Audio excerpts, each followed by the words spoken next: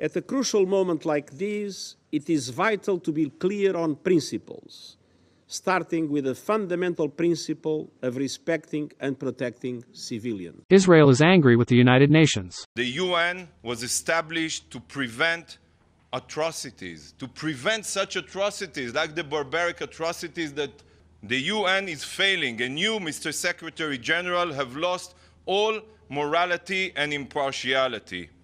UN Secretary General Antonio Guterres on Tuesday accused Israel of violating international law in Gaza and called for an immediate ceasefire.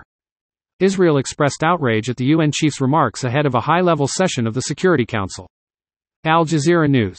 Israel's ambassador to the United Nations, Gilad Erdan, said the country would stop issuing visas to UN officials. He also said to give education to the United Nations. Gilad Erdan told Army Radio, because of his, UN Secretary General Guterres's, comments, we will not grant visas to UN representatives. We have already cancelled the visa application of UN Emergency Relief Coordinator Martin Griffiths. It's time to teach them, the UN, a lesson. Guterres made the call amid a crisis over Israel's massive bombing of Palestinian territories in response to Hamas attacks and a deeply divided Security Council over the issue. Palestinian Foreign Minister condemns inaction over continued attacks on Gaza.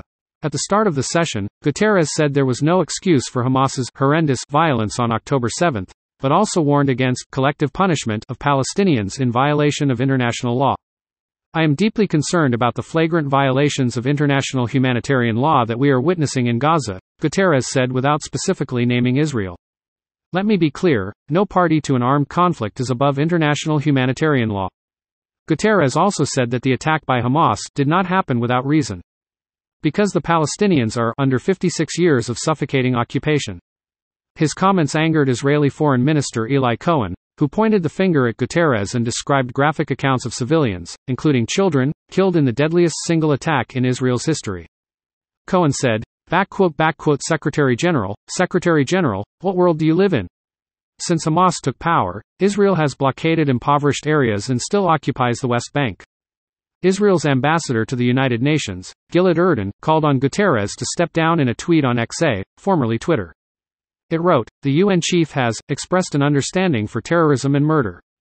The Hamas run health ministry said 6,546 people, mostly civilians, had died in the Gaza Strip in retaliatory Israeli bombardment.